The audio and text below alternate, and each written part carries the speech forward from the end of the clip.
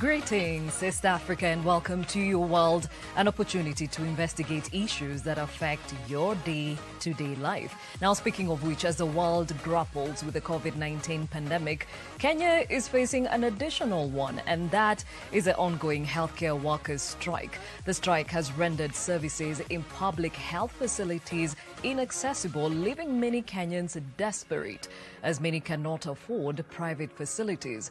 This morning, we relook at how we got here, why we are still here, and how we can ensure that this vicious cycle ends by catering for the welfare of our healthcare workers. My name is Gladys Gachanja, and this is what else you can expect.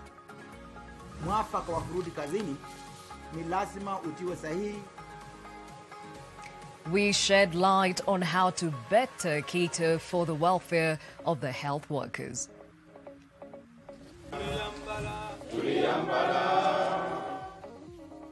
Well, Bobby Wine addresses supporters after soldiers stood down their positions around his residence. If we can get a solution, a win-win solution so that our people don't continue suffering.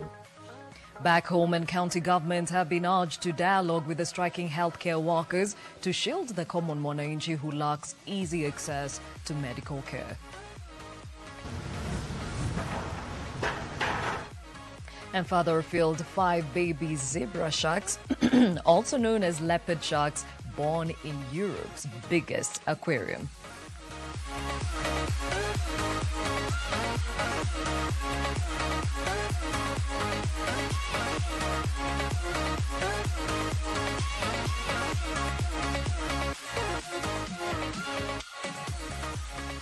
Thank you for joining us on this broadcast. We take stock of our healthcare system and, of course, pay special focus to the welfare of our healthcare workers this morning. So, our question of the day to you is Have you been affected by the ongoing healthcare workers' strike? Share your experience using that hashtag new normal. And, of course, we shall be sharing our numbers, and you can also call in or text in.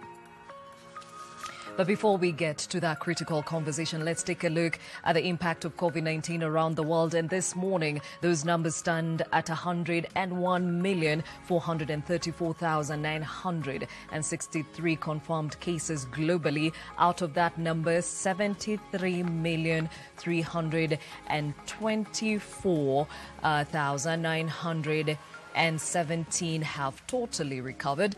2,184,126, unfortunately, have succumbed to COVID 19. Now, in Kenya, that number is at 100,323 confirmed cases, 83,691 recovered, and 1,751 Kenyans have succumbed to COVID 19. Again, I will say this until we can all understand the importance of being very diligent is that you need to keep wearing your mask, you keep social distancing, and of course, wash your hands with water regularly. And if you do not have that, please use your alcohol based sanitizer. Now, a look at some of the stories that are making headlines on your world this morning. And uh, residents of an internally displaced camp in the northeastern Nigerian city of Maiduguri say they approve the decision by President Muhammadu Buhari to replace the country's top military commanders in a sudden overhaul after months of pressure over deteriorating security.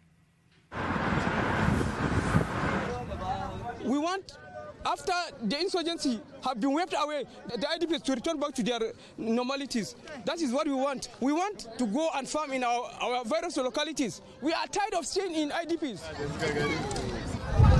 The sacked ones have not improved what we, the IDPs, want. What we want is not to repel the Boko Haram, but to kill them, to finish them at once, not to repeal them again. We are repeating one thing at all the time. That's the reason why we are not after them. We want somebody that will just degrade them, complete them, whip them away. Elsewhere, hundreds of Tunisian anti-government protesters demonstrate near the parliament, which was guarded by riot police as lawmakers inside held a heated debate on a cabinet reshuffle. Tunisia's politics have also been turbulent and seen a deepening rift between the prime minister and head of state. President Said, an independent academic who has criticized parliamentary democracy, has been seeking to reposition himself at the center of an unstable political political scene. The task of forming a, a government, rather, has become more difficult since elections in October of 2019 resulted in a parliament split among myriad parties and fragile alliances. Islamist inspired Ennahda came top in the polls but fell far short of a majority and eventually agreed to join a coalition government. هدانا المنظومة من الحاكم للحكومة. هدانا لولادنا To South Africa and the country's president Cyril Ramaphosa warns against rich countries bulk buying and hoarding coronavirus vaccine doses. Addressing the virtual 2020 World Economic Forum, Ramaphosa said low and middle income countries were being sidelined by wealthier nations, some of which have been able to acquire up to four times the amount needed for their population. We want vaccines as quickly as other countries do that have already started because uh, we are all not safe if some countries are vaccinating their people and other countries are not vaccinating. We all must act together in combating uh, coronavirus because it affects all of us equally. This free trade area is going to open the door for trading for African producers and manufacturers but the other advantage is going to be in boosting manufacturing, in boosting industrialization, because all of a sudden, a market will have been opened, and manufacturers, entrepreneurs, and industrialists will now know that we now have a market. While closer home, Ugandan opposition leader Bobby Wine addresses supporters after soldiers stood down their positions around his residence a day after a court ordered an end to the confinement of a presidential runners-up. Where you are seated right now, there were tents of soldiers. They jumped over the fence and took over our compound. They could not allow my wife to access our garden. They beat up our security guards and terrorized everybody that we stay with. But, I mean, that serves only to expose the kind of regime that is presiding over us. General Museveni might, might have used the military to assert his force and impose himself on the people of Uganda. Like I've already told you, he's an impositor who we are going to remove soon and very soon. You are special people. Amidst all the rigging, amidst all the irregularities, amidst all the violence, the people asserted their voices. Don't look at yourself like the ordinary. You are not ordinary. You are freedom fighters. You are revolutionaries. Embrace it. People power. Our power. Now back home and focusing on our conversation of the day, county governments have been urged to dialogue with the striking, striking rather healthcare workers across the country and call for a true source to shield the common mwananchi who now lacks easy access to medical care at the public facilities. This as the strike by the Kenya Union of Clinical Workers continues as the county governments failed to implement the return to work policy which they had signed with the Ministry of Health earlier in the year year. Now, Labour Cabinet Secretary Simon Chelugui has called upon counties to join hands with the national government to bring an end to the medical workers' strike, further stating that medical management in a country is vital, further appealing to county governors to prioritize healthcare workers' welfare. At the Baringo County Referral Hospital, patients watch in agony.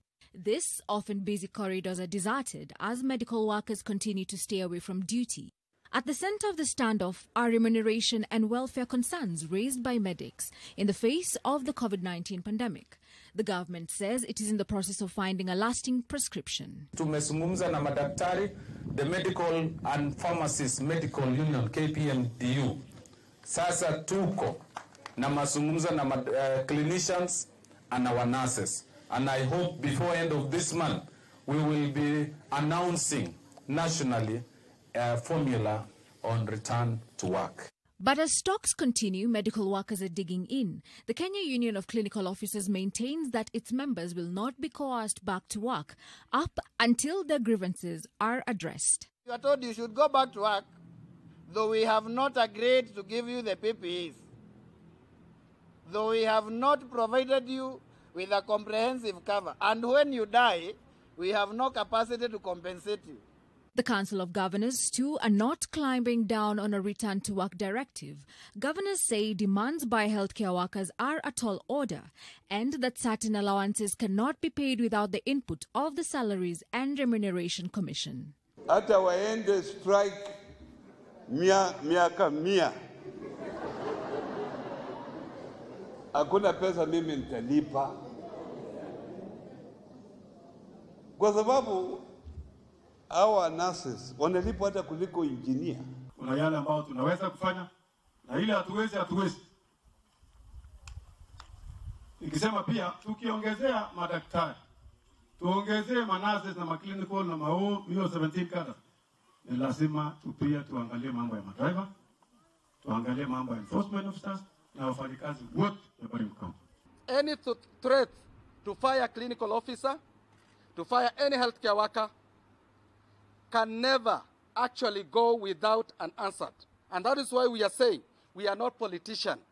What we want is a consideration, prioritization on matters of health.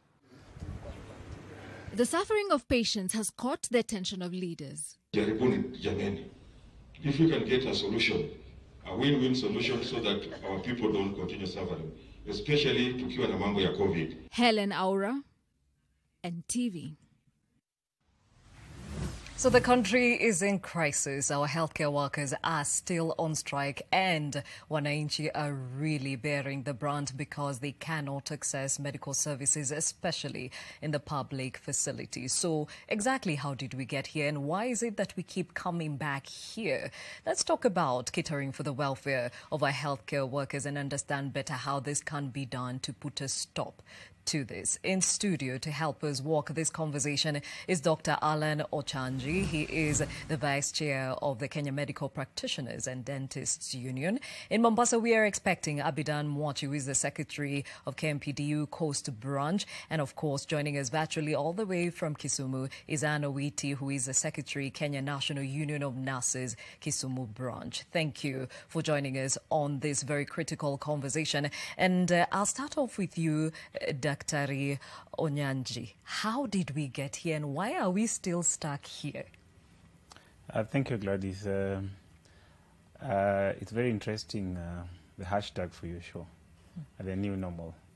Uh, indeed, the, the constant unrest in the health sector shouldn't be the new normal. Mm. And uh, I like the reconciliatory tone being extended by the Minister of Labor because the answers to all these problems lies in respecting the tripartite uh, arrangement where there's an employer, there's an employee, and then there's a conciliator.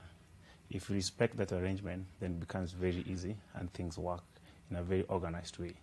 That is not what we've seen, and that's why you see this constant unrest, this constant strikes every day uh, in the health sector.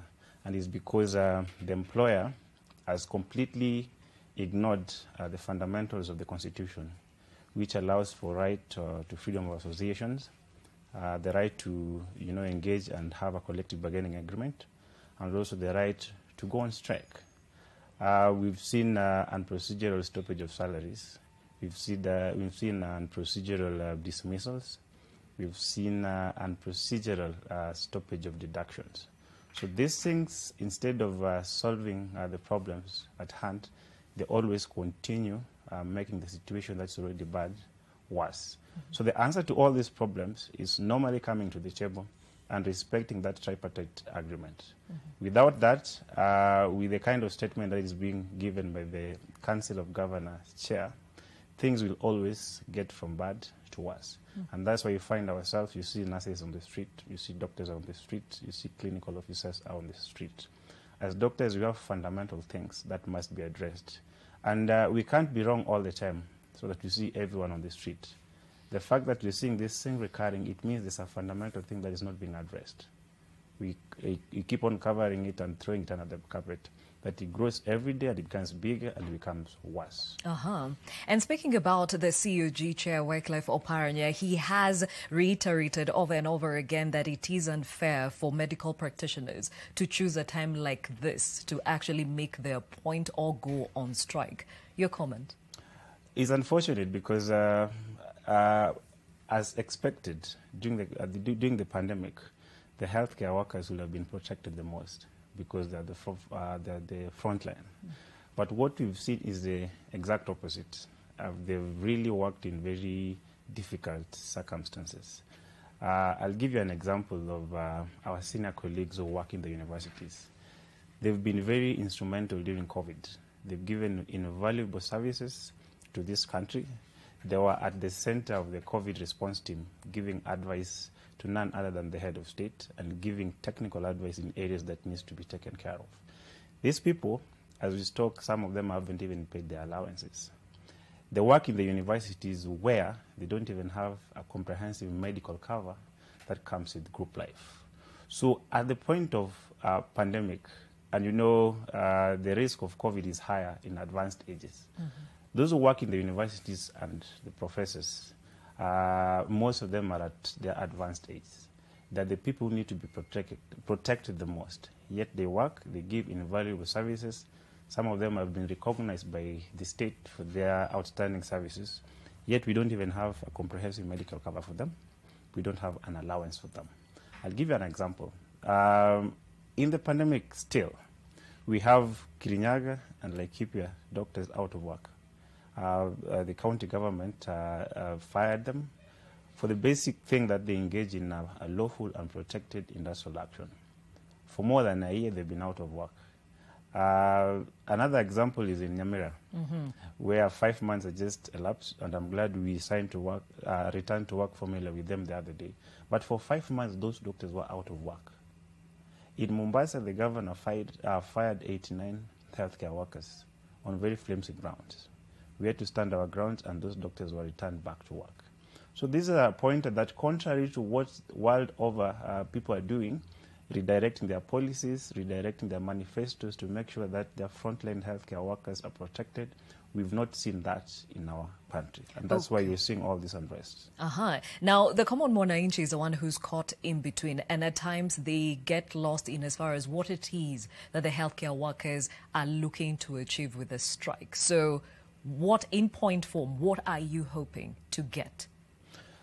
We hope that uh, uh, the responsible authorities will come and respect the agreements that they've entered into with the workers, especially the healthcare workers. Mhm. If you look across the clinical officers, the nurses, the doctors, they have documents that have been, uh, the, the government and the responsible bodies have appended their signatures. We have a CBA with all the uh, 47 county governments. We have a CBA, a CBA implementation matrix. If the counties were to be truthful and respectful and respect that document that we deposited in court and implement the clauses within that document, you wouldn't see us on the street Mhm. because the doctors will be promoted on time, will not have stagnation, will have a comprehensive medical cover, uh, framework for training will be outlined, and uh, we'll have a framework where if you have a problem, you have a mechanism for solution. What we've seen is that instead of uh, the responsible people coming to the table and uh, confining ourselves to this agreement, they resort to threats, intimidation, sackings, and stoppage of salaries. Those will never solve any problem. Uh-huh. Okay, now we know the nurses reiterated the other day they are not going back to work. If we can have that story on the autocue, and they have said they will not be coerced and uh, intimidated to going back to work because they believe what they're fighting for is for the good of the country at the end of the day, and there is no reprieve for public hospitals hoping to normalize their operations. now, the National Union of Nurses confirmed Tuesday that the strike is still on, even though the Bungoma nurses representative said they reached an agreement with the county government. On the other hand, the chair of the Council of Governors is adamant that he will not give in to the demands of nurses, however long that will take. The health workers maintain the industrial action is necessary so that their grievances can be addressed. But the strike has left many Kenyans in a desperate situation, especially those unable to seek alternative care in private facilities. Though sympathetic, the Secretary General, representing 30,000 nurses around the country, says it is only county governments that can make them change their stance in the stalemate. ule mwafaka wa kurudi kazini ni lazima utiwe sahihi katika kitengo cha kitaifa, kwa sababu tunajua kwamba hela zote ambazo zinaendesha nchi hii zinatoka kwa serikali kuu kupitia bunge. Kwa hivyo hatuwezi kuhadaliwa kwamba mambo haya yanaweza kutekelezwa na serikali za katuzi kule chini. Their demands, he says, are well known and won't change. Tunashiriki mgomo mpaka wakati ambapo mambo yetu ambayo tumeuliza serikali yatatekelezwa. Right now, the Kenyans on the ground are really, really, really suffering. Nobody is talking about the strike. The nurses' representative is struggling with what he sees as the arrogance of the Council of Governors chair, who seems oblivious to the health crisis that the strike is causing. Meanwhile, in Bungoma, the story is very different. The governor and nurses' representative in the county have reached a deal. We've had all the salaries paid on time in all our members' accounts. And uh, going forward is that that pace is actually going to be maintained. This afternoon, we have managed to get a breakthrough with the union officials, Bungoma branch, and they have agreed in principle to suspend the strike so that our nurses can get back to work in the next 48 hours. The Secretary General of the Nurses Union, however, says that this development in Bungoma has not been sanctioned by their National Governing Council.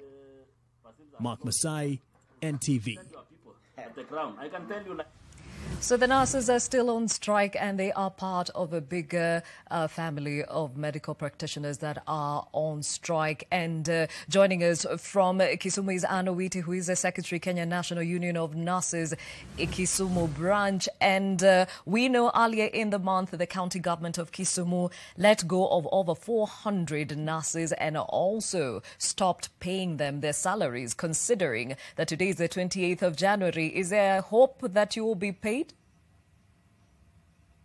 Thank you so much for hosting me in this show, and I want to extend my greetings to all the, the Kenyans who are watching us now. I would start by saying that we are sympathizing with the situation on the ground in the country, but as at now, there's really nothing much that we can do before we reach an agreement. The situation in Kisumu, as you rightly put it, is very disappointing. Over 400 nurses have been struck off the payroll. Our employer is saying he does not know where we are. I'm wondering what he means because we gave a strike notice and we are on strike and he knows we are on strike. The notice is with him on his desk. So when he says he doesn't know where we are, I'm a bit challenged. I don't know what to say. But it is true, our salaries have been stopped and we are being threatened with a lot of sack letters. So we have been talking to this county government. If I hear the the Honorable Oparanya saying that uh, we should go and talk to, with, the, with the counties. I don't know. In Kisumu, we have noticed so many times Kisumu health workers on strike. That is an effect of negotiations that are not honored. We go in, we talk, and the same same situation. Take, for example, the delay in salaries. Okay, now Kisumu has uh, come up with uh, a tentative arrangement of paying in time, but paying only the basic. But our salary also involves the gross. We need our gross salary. In Kisumu, here have represented nurses who are accused of dual employment because they want they went to do lo- locum elsewhere. So it is only when you pay the, the, the gross, our loan deductions, that we are able to access loans and manage our things. When we talk about uh, the risk allowances, the risk allowances you are told cannot be sorted at the county level. That's why we are here, because we are told the, the SRC must give in their input. That cannot be done at the county level. So how do we go and discuss such a thing at the county? There's the statutory deductions, including NHIF. Our members, the other day there was one member of mine who was to access care at the Aga Khan was referred by the ENT surgeon to Nairobi for treatment. She went and came back because her, her, dues had not reached the NHIF. Imagine a sick person coming back to follow issues with NHIF instead of getting treatment. These issues are still piling, piling up. The confirmation of the, the, the, the contract employees.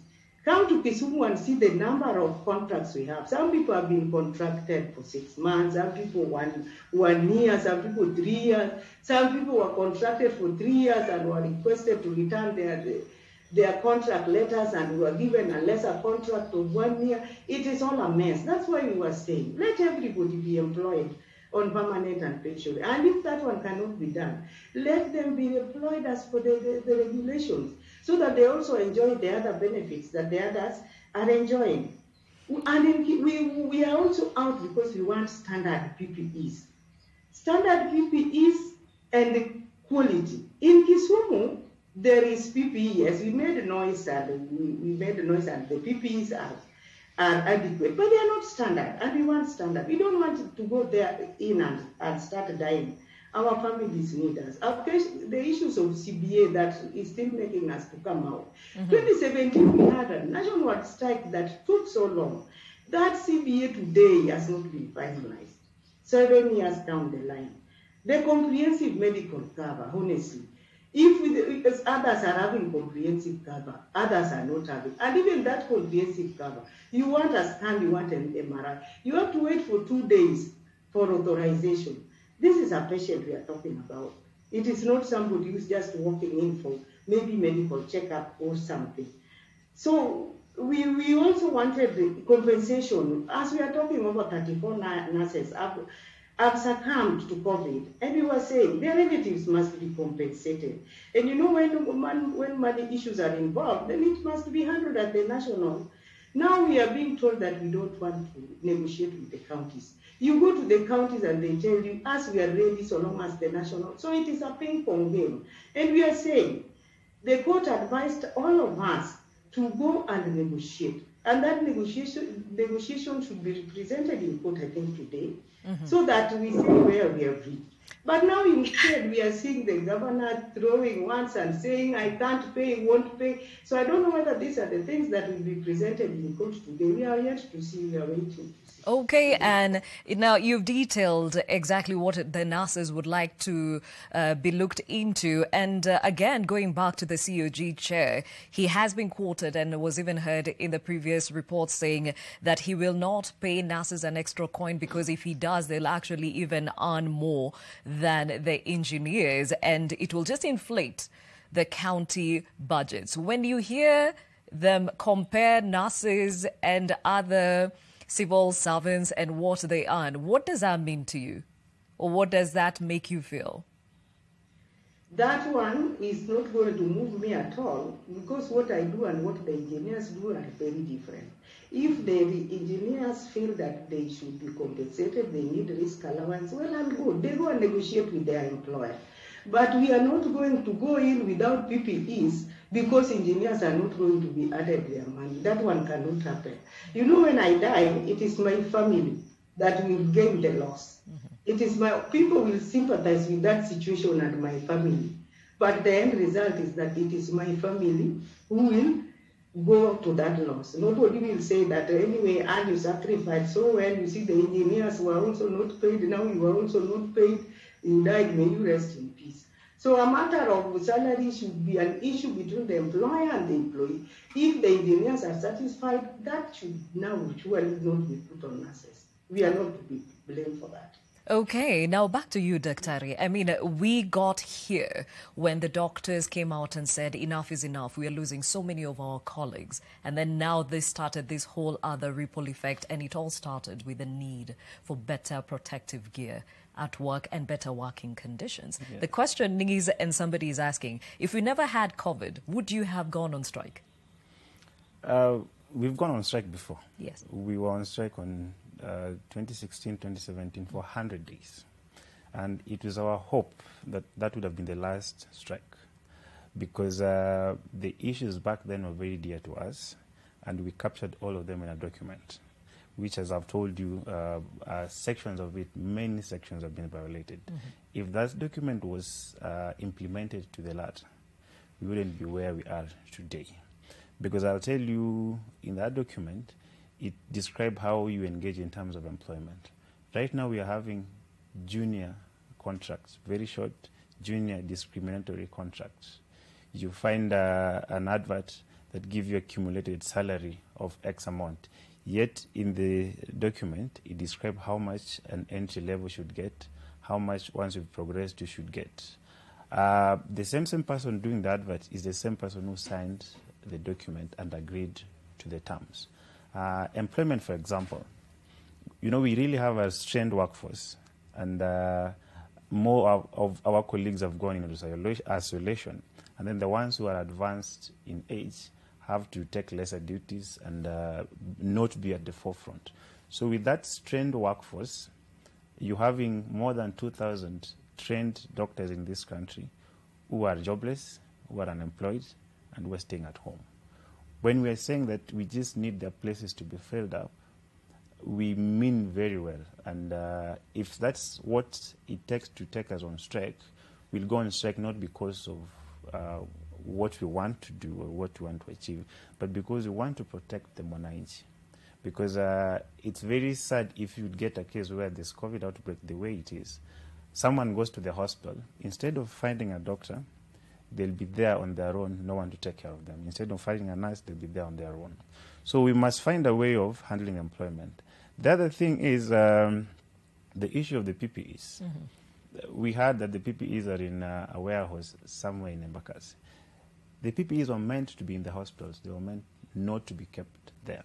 So if you're making noise and going on strike, it's because that is the last option. How would you leave your house knowing so well that I'm going to work, but I'm not protected? If anything happens to me, who will take care of me? And that happens at a point where there's no platform of compensation. You don't have a group life cover. And as I've told you, some of our senior colleagues work. Um, the professor of urology who passed on, uh, they died at a point where they don't have comprehensive medical cover. We have colleagues who died uh, in Eldoret en route to Nairobi. They, while, while they were traveling to come and get ICU bed in Nairobi, they were busy organizing a WhatsApp group so that they can get a deposit for ICU. So these are things we go through, and when you see healthcare workers downing their tools, it's never uh, something that we're proud of, but sometimes it comes as a point where that is a measure of last resort. We've engaged, we've participated in conciliatory meetings, we've written letters, some of them have been ignored. So when we come out on the street, it's just expressing our displeasure with the slow pace and uh, the way things are being done that's not addressing the basic issues for our time. So the pandemic just came to exacerbate the situation that was there in the first place. In fact, if you look at countries that have really done well in terms of COVID, Mhm. they've had preparedness as number one factor. COVID came, yes, as a pandemic, but it's way better if you're organized in terms of handling human resources, in terms of infrastructure, in terms of commodity and supply, and in terms of financing health. If you put those four ingredients together, even if you get a pandemic, today we're in COVID, uh, the other time we were in Ebola, another would come. We also have TB, we have diabetes, we have malaria. These things will always be there, but they come, uh, it becomes very easy to handle them if you're prepared and you put health as a priority. Mhm. Because in the Constitution, every Kenyan is gu- guaranteed and is assured of highest health standards. Uh-huh. Okay, so the doctors in Mombasa actually downed their tools and went on strike, but came to an agreement with the county government, even after going through that whole episode of over 80 of their colleagues being let go by the county government for being on strike. So we are now joined by Abidan Mwachi, who is the secretary for the KMPDU at the Coast Branch. And everyone is asking, what is it that the county government did right to get your attention enough for you to go back to work? Um, uh, uh, th- th- thank you, Gladys. Uh, uh, the situation in Mombasa was less than uh, perfect. Uh, let me just say, uh, uh, 86 of our doctors got sacked for demanding what I will call very basic rights. Uh, but that is what it was. Uh, I mean, th- that was the lowest uh, abysmal point that we ever sunk to, and we wish that we never get there. Uh, you know, um, a strike in the healthcare sector uh, usually uh, creates no winners.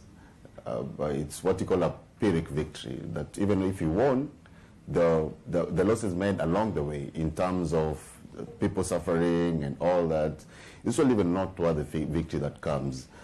Um, so to say that, uh, uh, however, here we chose the uh, uh, path of engagement, and, and, and, and we engaged in very tough diplomacy. It, it was forced upon us that you have to sit down and agree because uh, this was a very tough time. COVID had ravaged. If you can remember, Mombasa was only second to Nairobi in terms of the high numbers. And our members were working without insurance, our members were working without a salary, our members were paying bills in, their, in the hundreds of thousands uh, during the ravishing uh, uh, pandemic. So uh, it, it- came as a last resort, but it had to be done. Um, however, you're very sorry uh, st- uh, state in counties like Laikipia and Kirinyaga, where doctors have been sacked and there doesn't seem to be any end in sight. Uh, when you look at the entirety of thing, uh, you can guess, like we do, that uh, health, health in this country is only used as a campaign slogan, nothing more than that. They put flowery words, poetic words, only when they're campaigning, but after that, nothing, nothing much comes out of it. How will you explain a country of 45 to 50 million uh, people and has 2,000 doctors out there unemployed, and we only have about 4 4,000 doctors for the entire population? we don't really uh, mean we, uh, the words that we say when you're out there in the campaign platforms. And it, it, it's a sorry state, yes. Okay, now what is it that the county government did right to get you back to work? Yes, yes. Now, well, we chose the path of engagement. I, I know egos were high and, and uh, the, the, uh, really, really, I mean, both sides are taking a very uh, tough stand, but we chose the path of engagement to engage the Senate. We wrote a petition to Senate, and it's Senate through the senator who mediated those talks. And also the very senior colleagues in the profession uh, through Kenya Medical Association who came to mediate and so we weren't uh, speaking as a bipartite uh, uh, uh, uh, conversation. We had a tripartite where we had senior colleagues on this side, and we had the county government on that side, and uh, so the entirety of the picture was like we are trying to find a solution, and we had to find it really fast. So we did. Yes, that's what we did. All right, and now that you're back to work, have all your grievances been met?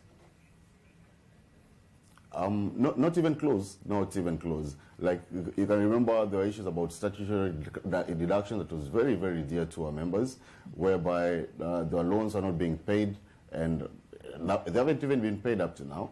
Uh, so they will get money in their accounts, but the banks now will deduct that money. So members are going without salaries, still are. But when you looked at uh, the resolution of that, you know, it, it, it was so clear that it will never be resolved in within an industrial action.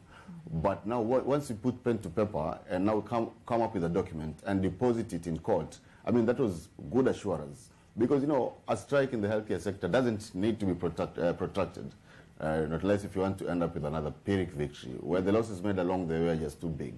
Uh-huh. Okay, so we see that the county government of Mombasa was able to convince their doctors to go back by meeting them halfway, which means with health being a devolved unit, each county is capable of catering for their needs of the medical practitioners in the counties. Now, the other day, Bungoma County seemed to have agreed with the nurses and they said they will go back to work. But the union said they do not recognize the same. The question to you, Anne, even as you speak to the county government of Kisumu and you agree, would you go back to work or do you still await a go ahead from the union? It will depend on the matter we are discussing. If the matter is what is on the table now, maybe Kisumu County government, the way they talk to us will not be able. Because the issues of risk allowance, they said they have to wait for a go ahead, meaning they will only confirm when the go ahead is given by the national team. And that's why we are requesting them as a county to involve and talk to the governor so that they talk to one another, come on the table, and we sort out this matter.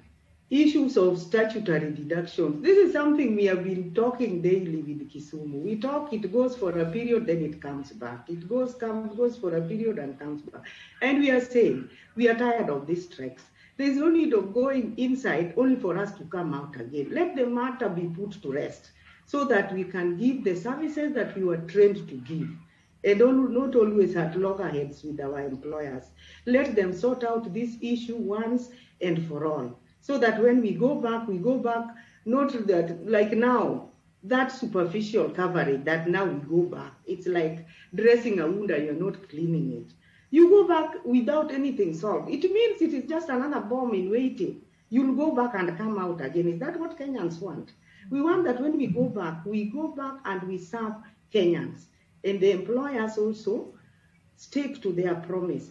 As we are standing now, they have promised nothing. They have said, we won't pay, can't pay. Surely. Can you go back with such a statement? We have to reach an agreement. And that is why there is negotiation, and that's why it is before a mediator. We all go in and say what we want. Then, okay, after the mediation, now we can say, okay, as these matters are being sorted, let us now go back. But which matters are being sorted now as we speak? Nothing. Nothing. It's just we are seeing the politicians, especially the chair of the COG, saying and throwing words. He has even said he has employed 60 to replace the over 1,000 nurses that are in that county. I'm, I'm wondering how 60 can bridge 1,000. So it is so unfair for the Kenyans, and Kenyans are left suffering for a long time. They cannot even go to the private institutions. It is pathetic. Even as we are suffering. Mm. Now, if we agree to go back and then I'm sick, my NHIF is not updated. Is that a type of going back that we want? No, we want something sorted out so that we relax. You know, as a medic, if you are on duty and you are not settled psychologically, how will you even make that diagnosis? How will you identify what the patient is suffering from? We want to go in an environment that we are free, that we are not mentally disturbed, that we can exercise what we were taught. Uh huh. Okay, now I think Kenyans have been watching the government go at it with the medical practitioners, Alan, and uh, at times all it looks like is these professionals that are at each other. But at the end of the day, you're human beings just like the next guy. Paint a picture for us, especially in the pandemic, how life has been such a difficult journey to walk as a medic. It's very difficult because as a medic, you're human as well. You go to work and uh, you hope to uh, reconnect with your family sometimes after work. But you go to work knowing so well that uh, you're going to expose yourself and you're not adequately protected like a frontline soldier. By that, you carry the very heavy risk of taking the disease back home.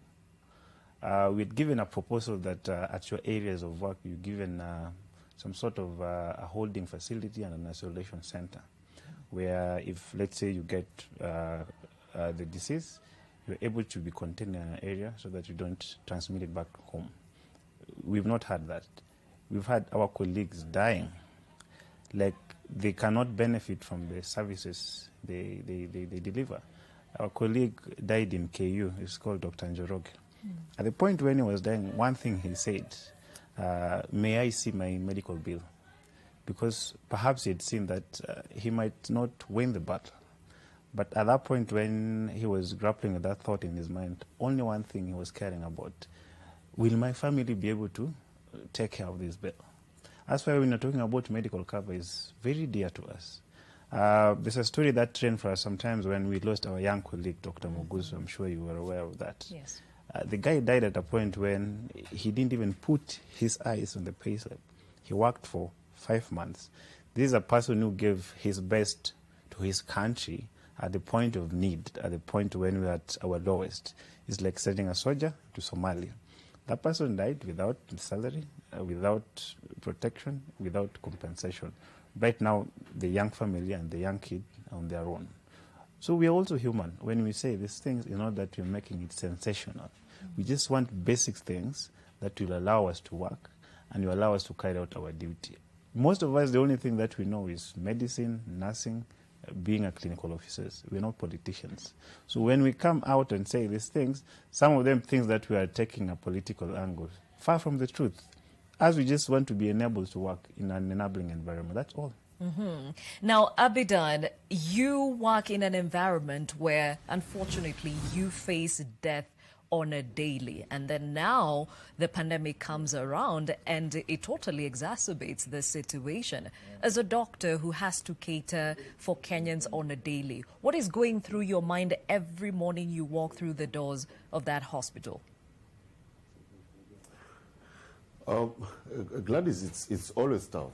Uh, there, are two, there are two aspects of it. There is what goes through my mind when I walk into the hospital, and also what goes through my mind when I get back home. So uh, let me start when I get to the hospital. And uh, basically, it's like you're also just walking through uh, uh, eggshells and you're superintending upon death. And you know that uh, you're not immune to it. When you get home, after being exposed, you're exposing it to your family.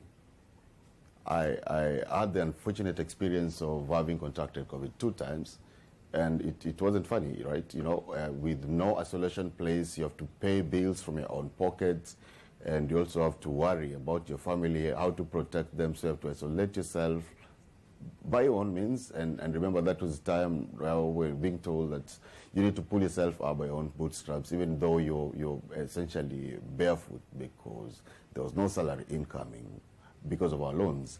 Uh, uh, uh, having said that, this is this situation has just brought to the fore the the kind of suffering and, and lopsided uh, whatever lo- lopsided decisions that our governments usually make. We are exposed to these issues every day: multi-drug resistant TB, the other TB. We're exposed to needle pricks because of HIV, and the health health, health cover is barely sufficient and this is on a daily basis. COVID has just exacerbated it, uh, and, and, because now it's a worldwide pandemic, that's why it's been brought to the fore. But these are issues that we go through every single day. Okay, and Anne, I would like to understand. You keep saying in the news amongst your fraternity that your colleagues are passing away because of this pandemic, and you still have to show up for work, and it's taking a toll on your mental health. How do you manage all this despite what you have to deal with on a daily? If I'm to talk for Kisumu, there is arrangement. There is uh, one of us, one of our nurses, who has a team of counselors who normally tries and talk to us. But as a human being, even after they talk to you, and like I told you earlier, oh, about 34 nurses have died due to this COVID. You just keep on asking yourself, am I the next one? And you see, in, in medical, we are going on duty up to 60 years of age. The other professionals were allowed to work at home, but you know the risks are still the same. The risks are the same, whether you are in medical profession or not. The way that person who is working from home, who is over 55, is the same same risk that is there. So we are there with those comorbidities. There's people with hypertension. There are some of our colleagues with diabetes. Some are immunosuppressed, and you have to just go. So you are there and you have that fear.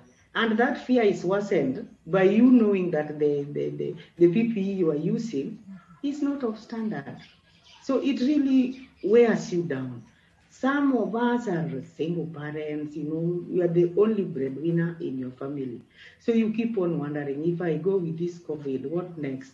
And by the way, it's not only COVID, as Dr. Alan has put it very straight. We are having these risks every day. There is hepatitis, there is all sorts of risks in the hospital.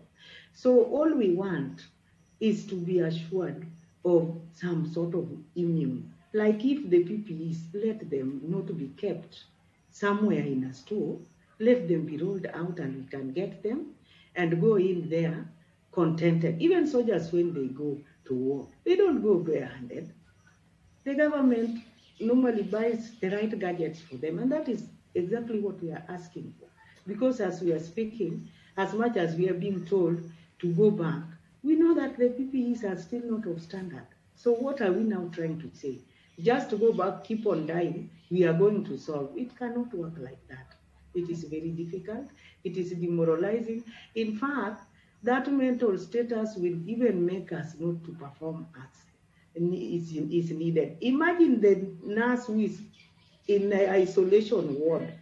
You are there and you know all these cases have been confirmed and you are still there, knowing very well that the PPE that I'm putting on maybe is not of the standard quality. So what we are saying, let us as Kenyans, all of us, let's give health priority. A healthy nation is the only nation can, that can walk in and vote anything in. A healthy nation can produce. An healthy nation can work together happily. But now when they, their health, nobody cares about, most of the facilities are locked, people are suffering at home. They even approach us in our houses thinking we can help them. We cannot also help them. We don't have medicine in our houses. So we are really frustrated, as you put it. And we really ask the government to move in with speed so that this stalemate can be sorted out. Mm-hmm. They had reached some agreement in the negotiation, and now the Council of Governors said they were not consulted, and their representatives were there. Can they please go to the table? We are requesting them. So that because in that return to work agreement that is there waiting signature, it is indicated that immediately they are signed. Within 24 hours, I'm assuring you, all nurses will be back on duty. Uh-huh. And we shall be working. Okay. You hear it here on your world and kind of understand better that uh, these doctors, nurses, clinical officers, at the end of the day, when they remove their coat, they are still human as you are. And this is what they are hoping that the government will come and actually address. Now, when we come back, there are lessons that we have drawn from the pandemic, and clearly some muscle that has come out of this pandemic that has shown that the healthcare infrastructure can do better if prioritized. We'll talk more about that in a moment. But before I take the break, we had asked you have you been affected by the current ongoing health workers strike? Talk to us. That hashtag is new normal. And uh, we have a few coming through. We have a Noble who says in any situation, a healthy workers, health workers on strike hinders many developmental milestones more when it comes to lives. A last one here from David Miles who says, No, I have an insurance policy that I use in private hospitals for all my medical needs. Well, you represent a very small percentage of Kenyans, and the greater percentage cannot afford to go to a private facility. And we'll be talking about that in a moment. Stay with us.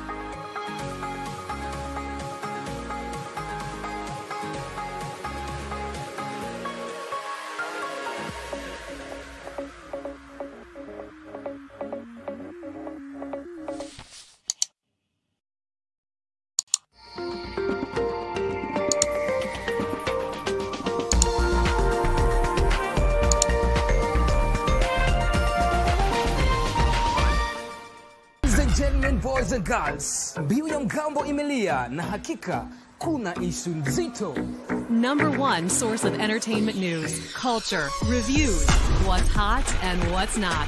introducing kwetu mix This is a very different platform. This is an international platform, you know. zifahamu stori zote kuwahusu Ah, David Wana is not single. utajua more about top artist lifestyles time ya god ni time ya god hallelujah what they're up to when not in studio or on stage. That's what I do right now. That's what my dad, my family is so big. hapa tutakuletea updates zote about all the trendy and popular entertainment events kuanzia kenya east africa and africa. And of course kuzi count down the top 10 hottest 254 tracks. All your requests pamoja na masurprise kibao. Mambo vipi? Kama kawaida is your girl adasa na niko ndani ya kwetu mix on ntv join me your boy ted agwa right here on your favorite channel tupate vibe Your source of all great 411 and so much more.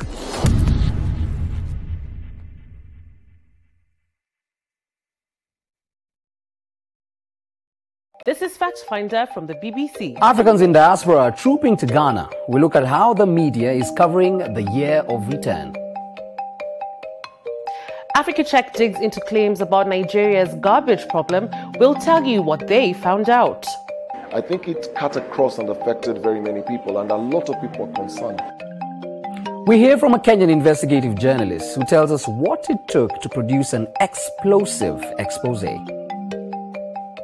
And a dance moves choreographed by artificial intelligence. The man behind it says it enhances dancers' creativity. Did you know? Did you know at Ruiru Mabati Factory you can open an account and lipa pole pole at your convenience? Did you know at Ruiru Mabati Factory you can get customized sizes according to your roof plan to avoid wastage? Did you know Ruiru Mabati Factory offers free delivery countrywide within 72 hours? Call us now on 0111 050 700. Ruiru Mabati Factory, mali safi poa.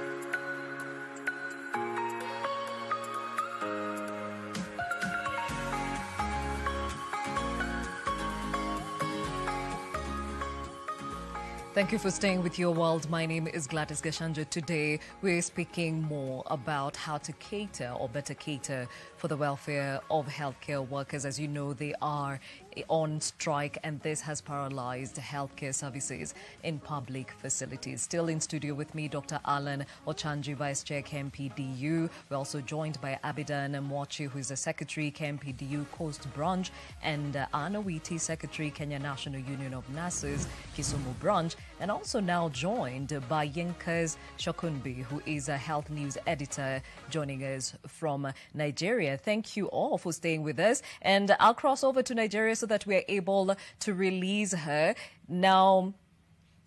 Uh, okay, before we hear from Yinkas, I hear that you would like to contribute to this conversation. Please reach us on that number at the bottom of your screen. William, what is your question or comment? Okay, thank you very much. I would like to make a contribution with, uh, with regard, regard to the uh, session which is currently going on. So, what I, I want to start by saying that Kenya is currently on a, a deathbed. Current, Kenya is on its knees health-wise. It is quite unfortunate that uh, health, which is a very, a very, very critical docket, is left uh, to, to, to, this uh, political elite who are not currently handling this matter uh, at hand. I, I strongly feel that uh, the healthcare workers are also human beings like any other person that needs to be listened to, and their issues need needs to be addressed. Then, um, even if it means taking uh, going for even uh, two years for this strike, for this issue to be solved once and for all, then I think it, it, it takes that thing to, for, for, for, for it to go that way, so that we don't have this same same scenario. It is quite unfortunate unfortunate that when these healthcare workers need what is rightfully theirs, then everything gets to the darker side. Nobody's ready to address this issue. And who suffers most? Look at this. We have when two bulls are fighting, at the end of the day, it is the common mwananchi down here who are suffering. So can this issue be resolved once and for all in such a way that in the near future we don't encounter a similar scenario? And, and, and let this issue, I, I strongly feel that it should be something that, that should be addressed. We need to give it a, a more priority. There are so many things that we see, even in the, in the, in the, in, in the television, which are going on, the political things which are not even of great importance. Why can't we give health a first priority? Health, you can only proceed to those kind of other things if you are healthy. Yeah. So I think the, the issue here is very emotive that needs to be given a very uh, an upper hand and need not to be to, to be uh, sidelined. Even if it takes for going for two years, three years, let it be people strike and we solve this issue that we net, we net, we, we end up with no strike even for the next 10 years. Yeah. Thank you, William, for calling in and for your contribution. And of course, underscoring the need to prioritize healthcare. And speaking of which, Alan, eyes on the county assemblies as the IEBC clears BBI bill as a push for a referendum for the same actually builds momentum. And this is a process expected to, you know, cost billions. As you see a lot of effort being put on that side, and here you are saying, just do the minimum for us. What is going through your mind? A lot, but before I respond to that, uh, let me pick it from one of our listeners Yes. who mentioned uh, something that uh, he has a private insurance cover, so he has not been affected. Um, that's a very slightly risky statement because um, I'll give you an example. Uh, there's a Mheshimiwa who died in Western Kenya. Uh, he died because there was no oxygen in any of the local facilities. You might be having your pri- private insurance, but you might get an emergency where the only hope you have is a public facility that is next to you. So it's it's very important that we uh, find ways of making sure that our public hospitals are working. The other thing is uh, you might have a cover with one million as a limit. God forbid if you were to land in ICU in Nairobi Hospital with one million, you'll be there for three or two days and your cover will be over. You'll be transferred back to the public hospitals. So our effort as the middle class and people are informed should be to push an agenda that will guarantee public health of highest standards and uh, does not have any limit to all Kenyans. And uh, that's why I find fault in uh, pushing health to 47 different uh, levels, the, the, the, the devolution, because that means we have 47 different standards of health. Because Machakos will not be the same as Migori, will not be the same as Mombasa. Yet, when you get cholera outbreak in Mandera, Wajir is at risk, Nairobi is at risk, Mombasa is at risk. So if you find it important to, to handle security at a central level, if you find it important to handle education at a central level, we must also find a way of handling health as a national issue at a central level. Now back to the BBI debate. You know, I don't know. I've I've heard like there's a, a 14 billion set up somewhere to take care of uh, the campaign and, and the BBI, and, and you know, it's just it's just laughable because uh, if you were to pump in 14 billion in health right now, you'll have 47 different hospitals with very high standards, including I, ICU. We only have about 300 ICU spaces in the whole country. That's why our colleague who died, he will not get ICU bed in Nakuru, he will not get it in Eldoret, he will not get in Naivasha. He had to come to Nairobi and got, uh, unfortunately he died before getting to Nairobi. Even in Nairobi, Nairobi Hospital and Aga Khan were completely full.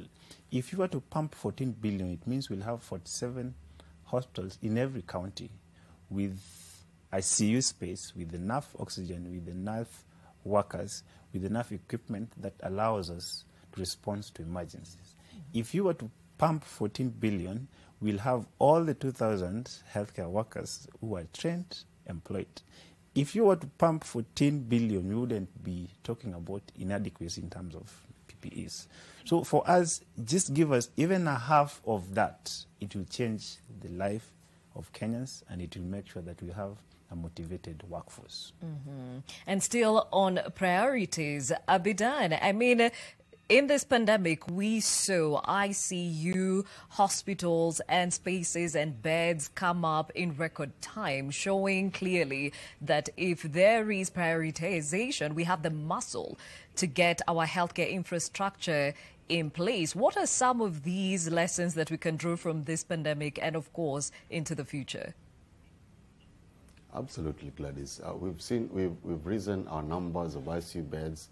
I think from 227 that was there.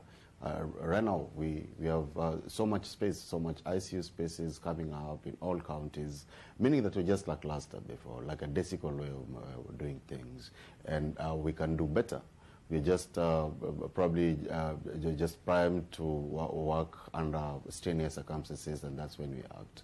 Now, moving forward, I, I think uh, we wouldn't want to come out as to stop what uh, these politicians want to do with the BBI debate. They know they're doing it. Uh, what we're saying is that they can do that at the same time as we are having a conversation about uh, healthcare. I mean, politics is their business, healthcare is ours. They have their reasons for doing the BBI debates and all that. We can't come out as to sound like we are opposing or we are supporting. We'll, uh, at the end of the day, remain as uh, healthcare workers. Uh, we, we have our role, which is primed.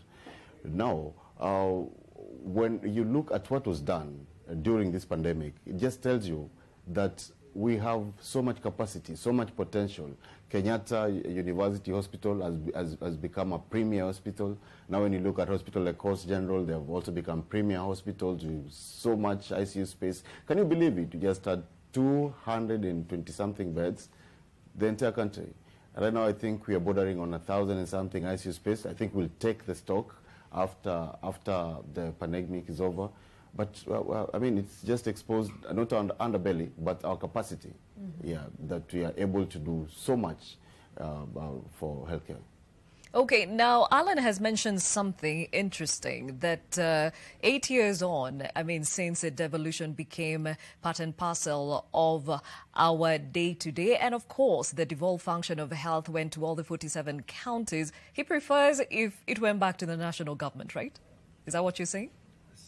A way of managing human resource. Okay. Yes. All right. So I would like to hear from Anne. With all the grievances you listed, do you think this would be better handled probably back at the national government or having somebody else away from the counties handle the business of health? Thank you. From, from what I've seen, everybody is driving their agenda. Politicians are busy with their agenda. We can now see them in the BBI, which is good. We cannot say it is bad. It is their role as politicians to do that. What we are saying is prioritization. Let us prioritize and balance because, as I said earlier, you can only take a, a, nation that is well onto the ballot to vote. A sick nation will not vote. We are in a pandemic, for God's sake. And we have been told that the, the, the second wave is even deadlier. God forbid, if it waves its way through us, and now we get real crisis in the country, in the situation that we are in right now, what will happen? You know, those, those figures, they are given daily.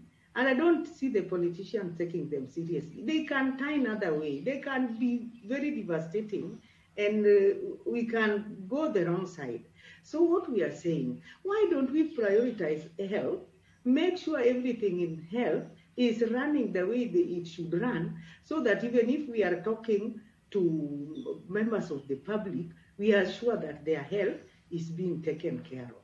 What we want is a centralized way of managing health, centralized so that we have uniformity. Not like the other time, Machakos was already enacting their return to work formula. For almost five months, they were stopped on the way.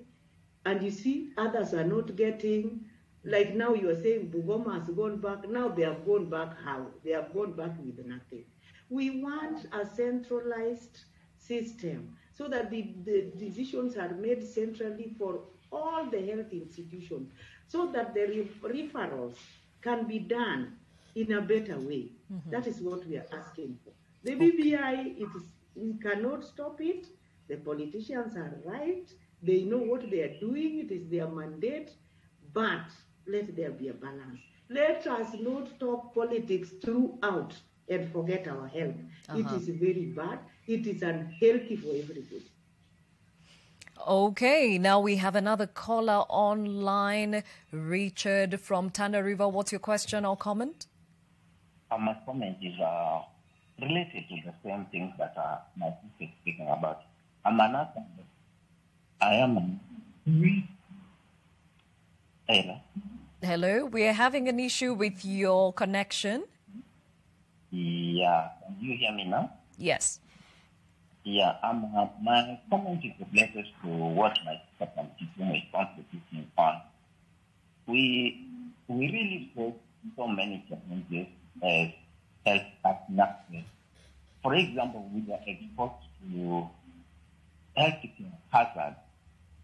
Then number two, we also have issues with uh, uh, the remuneration.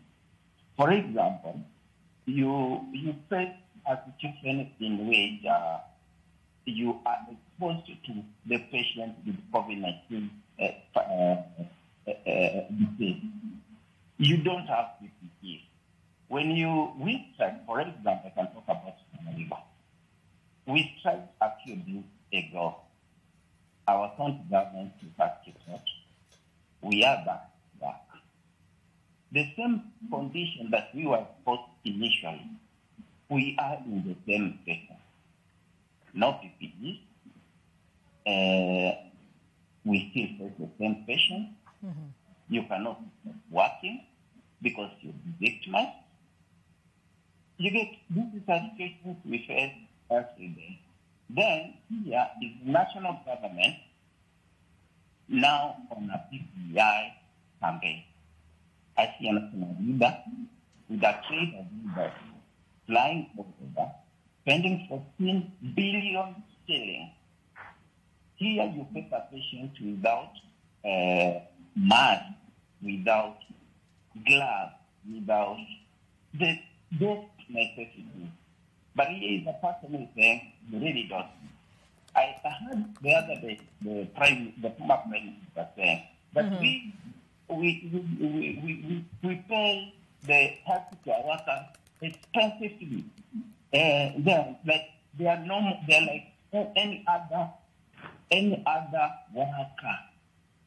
If we are like any other worker, the risk that we are exposed to, and we are soldiers in the in the field. For Mhm. example, you cannot send an army to fight the enemy without weapons, True. without morale. What do you expect this person will be thinking about family? When this person comes back with the same situation, he's not going to give in to what is supposed to be given to the one else. So you think face a health worker who is bitter, Mm-hmm. the way he man, the way the, the manager presents, very bitter, he's very emotional, he makes ra- irrational decisions which affect the, the worker. We hear you. We hear you. Thank you. Thank you for your contribution. And uh, these are the issues that are being brought up by the healthcare workers and especially in as far as catering for the welfare is concerned. I'm told we have Margaret from Migori also on the line. Margaret, what's your question or comment? Yeah, hello Gladys. Uh, thank you for having me. I am just surprised that we are still talking about this issue. I am so surprised that we are still talking about this issue of health workers. It is so sad that in Kenya, we are talking about health workers not being looked after. They know very well that um, without help, you cannot do anything. And I was thinking that this was going to be the first priority for these politicians to help these health workers do what they are doing. Because Gladys, if uh, these politicians are sick, where do, not, do they normally go? They normally go to hospitals. They are treated by the doctors, by these nurses. These people are always on the news. And they don't even think of these workers. Now, who is suffering Gladys? Is the poor Mwananchi that normally vote for them. Is that fair? Mm, Surely, should we be talking about this thing day in, day night? And these people know very well that without help, the country cannot even go on. Very true, so Margaret. I think the most important thing, Gladys, is health. And these people should sort out these doctors and nurses. So because look at what how much the politicians use. They spend a lot of money going around campaigning. They spend a lot of money on these hotels and everything.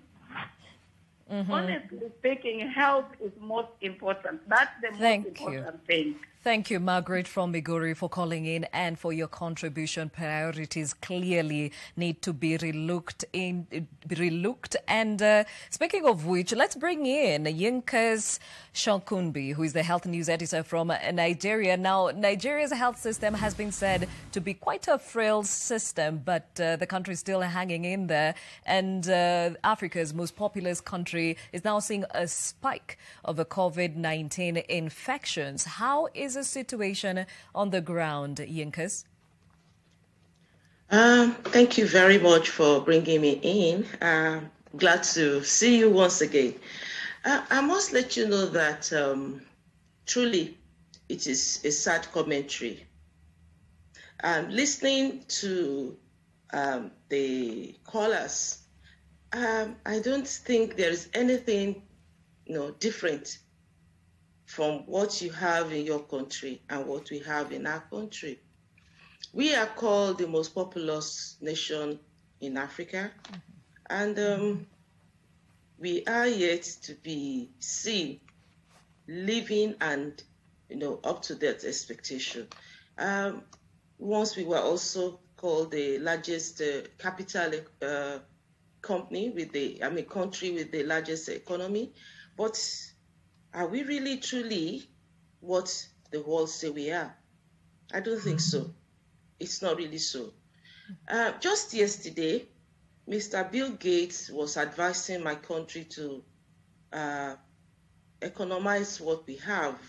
Instead of spending money to buy vaccine for COVID-19, why don't we spend our money to put our primary health care, which is the bedrock of health in Nigeria, in, in good shape? And this, everybody has been trying to, I'm sure today, the television stations, the radio stations, the newspaper review, they're going to be talking about what Mr. Bill Gates advised us. Why Africa is in this mess um, beats me. My nation is 60 years old, and we cannot boast of um, a good health care system. Uh, you ha- we have a three-tier system from the federal, state, and down to the local government.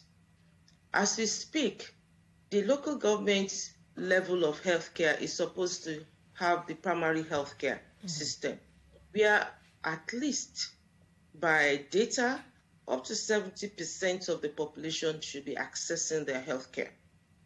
But it's almost non existent. We have primary healthcare centers, but you found the federal government putting money in primary healthcare.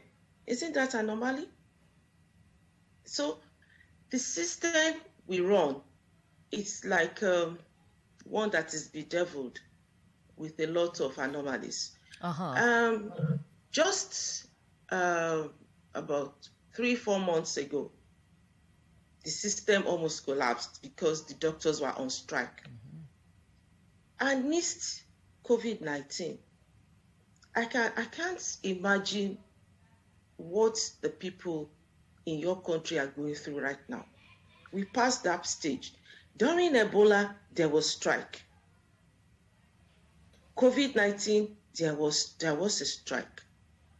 And you know, when people get infected, in fact, before you even know whether you are infected, you fall sick. And your first port of call, if you don't want to take care of yourself at home, is to go to any hospital. Private hospitals are expensive and people are unable to pay out of pocket, which is what most of us do if you don't have health insurance. So you have to go to a public hospital. At the public hospitals, you find they are on strike.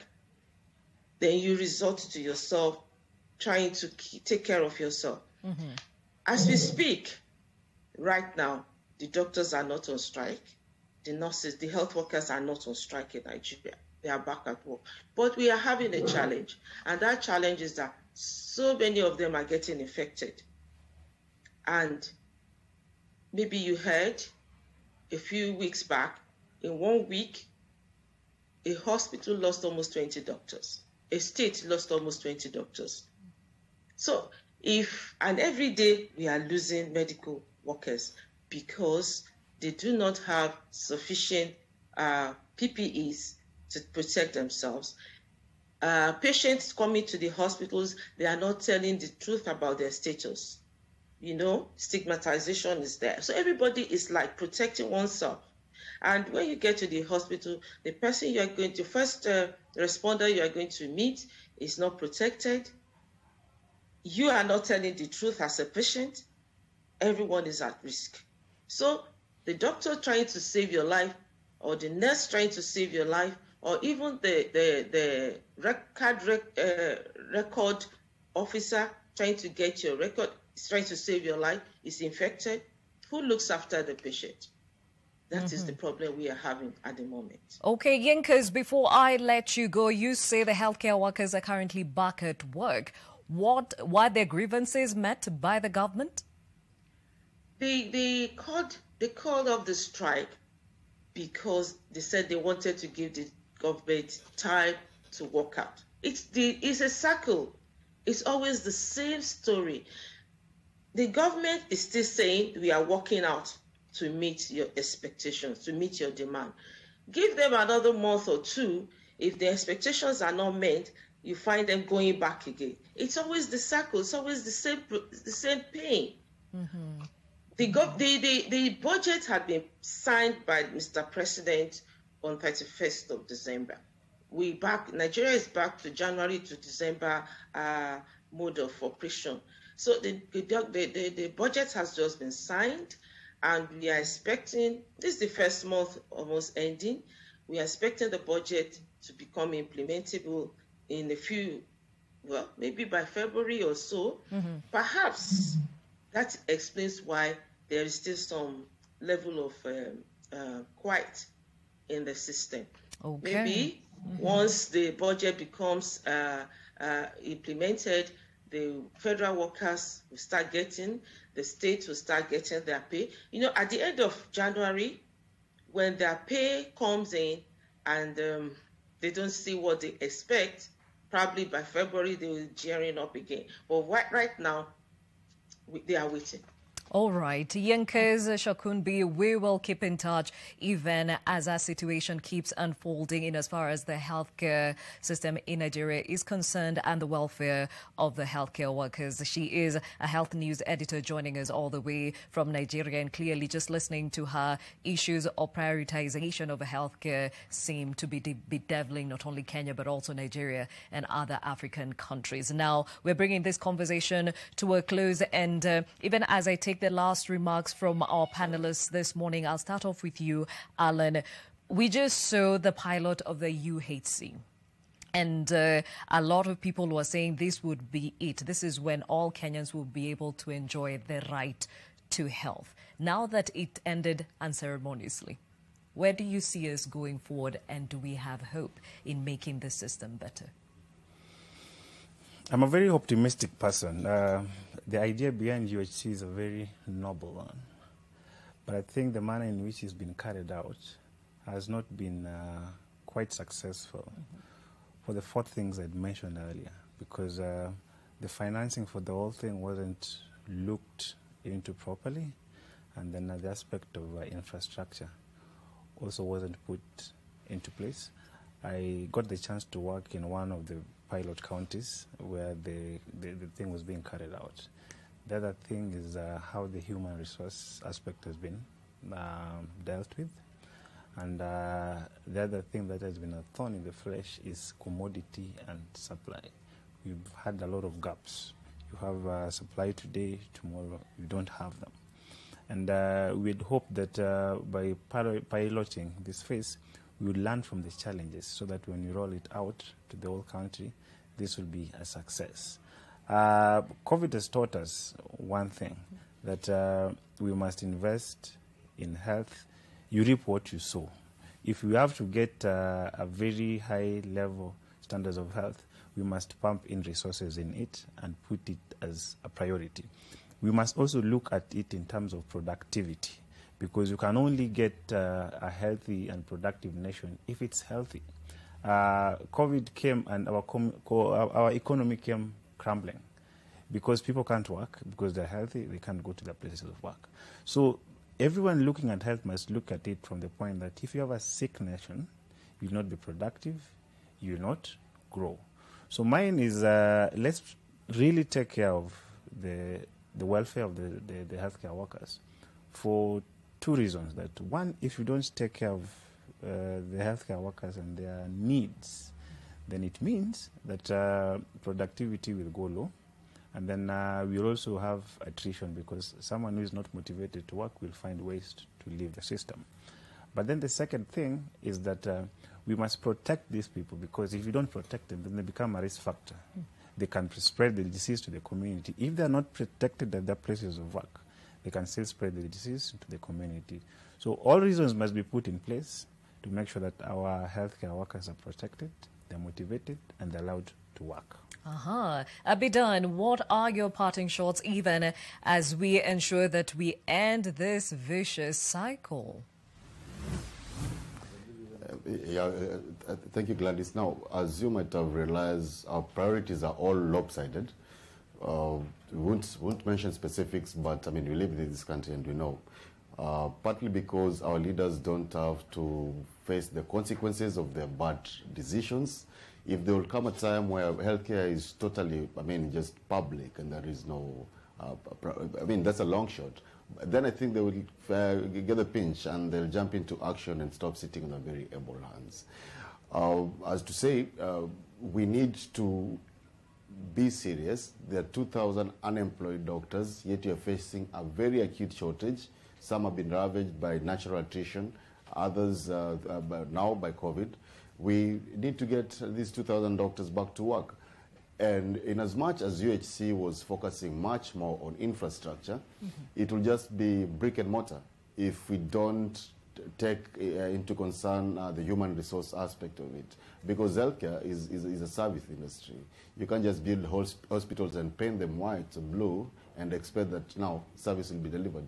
We need to take into concern the human resource aspect of it. Uh-huh. And Anne, your parting shot.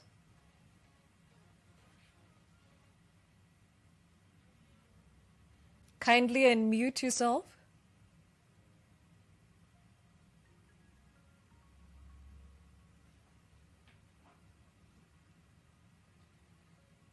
Okay. Have you unmuted yourself, Anne? Okay, we seem to have lost Anne's uh, sound, but uh, I'm sure that uh, she will be speaking to us, even if it's online, to give her parting shot on behalf of the Kenya National Union of Nurses. But as you've heard from the health practitioners themselves, that it is important that you cater for their welfare because at the end of the day, they're human beings, and if they are of sound mind and they're working in conducive environments, they are able to cater for you as a Mwananchi optimally. So, how do we end this vicious cycle? Meet their needs and, by extension, meet the healthcare needs of this country. Well, a big thank you, Dr. Alan Ochanji, Vice Chair KMPDU.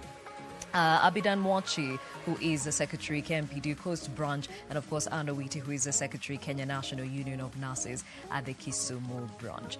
We also say a big thank you to Yinkas, who was joining us all the way from Nigeria. As I mentioned earlier, we'll keep in touch even as we understand better how your uh, healthcare system is being managed amidst this pandemic. Well, my colleague Kiprop will be joining us in a moment, even as he takes us through something that's very critical, especially at this time, and it is the hygiene that has been said to be the first line defense against contracting COVID 19. So, how can we ensure that each and every person can access, and even the schools can also access clean water? Find out in a moment.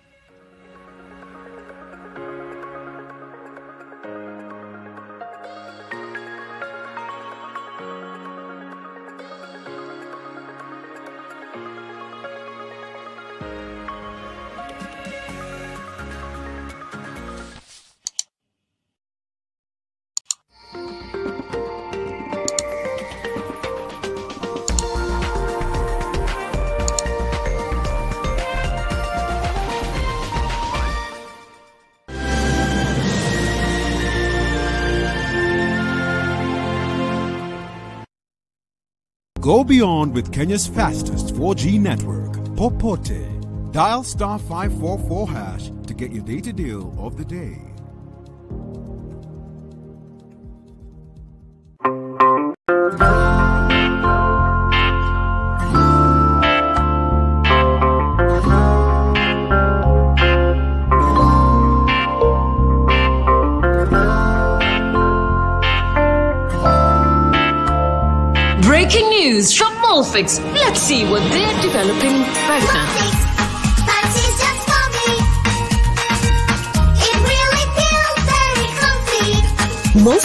Molfix with anatomic fit technology. New Molfix pants, an invention from babies for babies.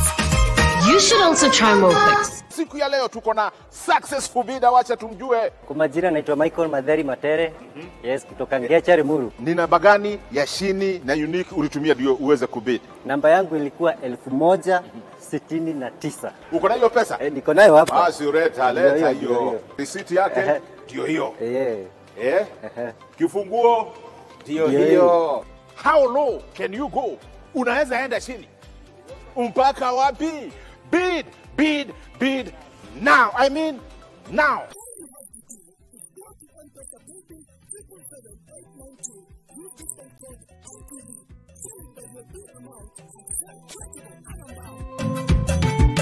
This is Fact Finder from the BBC. Africans in diaspora are trooping to Ghana. We look at how the media is covering the year of return.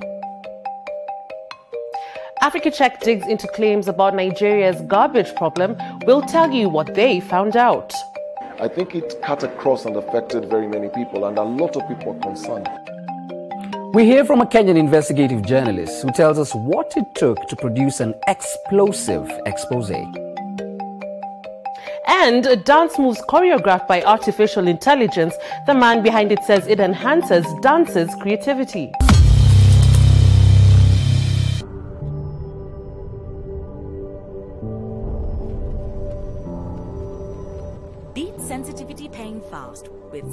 Sensodyne Rapid Action for clinically proven relief in 60 seconds.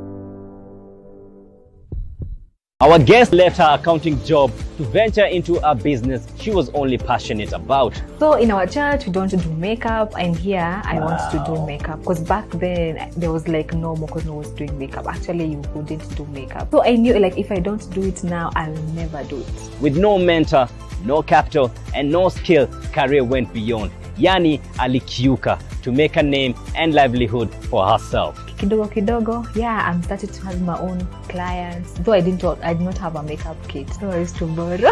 Guys, so Abu, how do you go to a client without a makeup kit? Having already made major strides in business, bado anaendelea kukiuka, which means going beyond and being extraordinary. I heard somewhere it's not advised to sleep with makeup on. ah, that's the worst thing you can do to your face. Tuzidi na Hustle in association with Safaricom.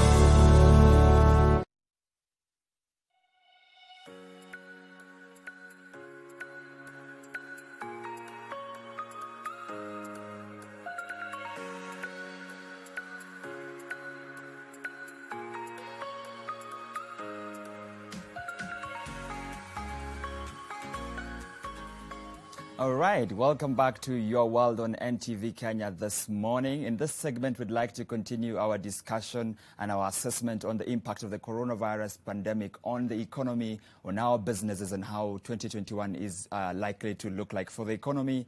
And with us in studio is Mrs. Um, Pauline Shabi. She's the in charge of marketing at Ramrod Tanks. Welcome to the show. Thank you so much. Good.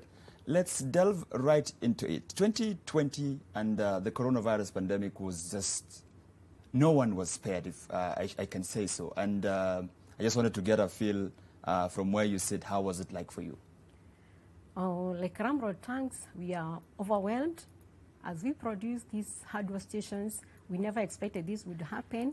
We had some stock uh, in our place, but it was very overwhelming because most likely we are like the only people who are producing these hardware stations, but we could not supply at the meantime, but we have to do a lot to supply all the customers and meet their needs at the point. And even before you go into the um, hand wash uh, machines, uh, you are a manufacturer of, of, of, water tanks. Yes. How was the, the pandemic like? Um, for, for, the most obvious, um, of course, impact for many businesses was um, uh, suppressed demand. Is that something that you experienced? Yes.